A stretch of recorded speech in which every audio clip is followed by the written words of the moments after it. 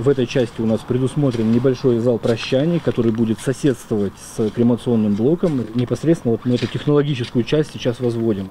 Эксклюзивно для зрителей ТВ-21 мурманский предприниматель Руслан Бортко проводит экскурсию по строящемуся крематорию, первому в нашем регионе. Его возводят недалеко от Мурманского кладбища между Колой и Мурмашами. Идею создания мужчина вынашивал долгие два года и лишь месяц назад приступил к реализации. Строят по-стахановски, рабочие уже заканчивают установку фундамента кремационного блока, одновременно реконструируют двухэтажное административное здание, чтобы уже в январе крематорий крематорий начал работу.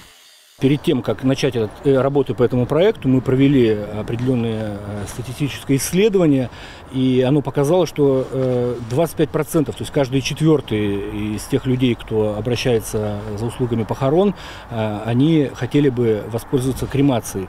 То есть услуга действительно востребована.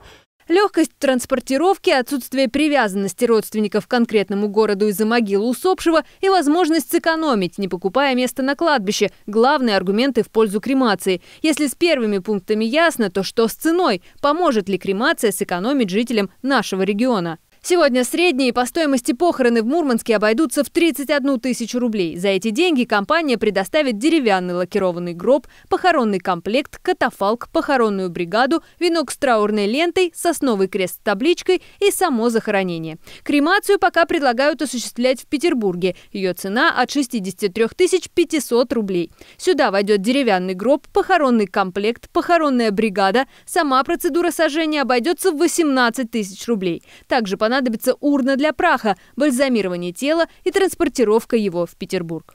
В строящемся крематории в Мурманске планируемая стоимость кремации 20 тысяч рублей. В нее войдут трехдневное хранение тела до сожжения, процедура кремации и урна для праха. Гроб и похоронную атрибутику, а также транспортировку тела похоронной бригадой придется оплачивать отдельно. Основная масса производителей э, оборудования, которые э, производят вот именно э, эти установки, они ориентированы на газ. В нашем случае это ну, намного сложнее, потому что газа, как мы знаем, у нас нет. И, естественно, оборудование и затраты на конкретную процедуру кремации, они немножко повышаются. Поэтому вот такая цена. Ну, нормально, я думаю, что. Мне кажется, да, почему? Вас устраивает? Ну, да. Я, например, хочу, чтобы меня, например, сожгли. Вот честно вам говорю, и прах развели на мою могилу, чтобы никто не ходил. Если сейчас похороны обходятся от 40 до 100 тысяч, то я думаю, ну, в пределах 30 тысяч это было довольно-таки приемлемо. Я за традиционное, я у себе уже место заказал, когда отца хоронил. Вот. А я считаю, крематорий должен быть. Ну, правильно, где-то ну, в пределах 30 тысяч. Да. Нет, ну, чтобы... Плюс-минус зарплата, да, как говорится, все, это приемлемо. Главное, чтобы было все цивилизованно, а не так, чтобы взяли как это вот засунули, там, сожгли, там, и никаких... Да, ну, да, чтобы да. все было цивилизованно, красиво. Затем, чтобы все было цивилизованно, проконтролируют в администрации Колы. Именно там предприниматели получил разрешение на строительство крематория.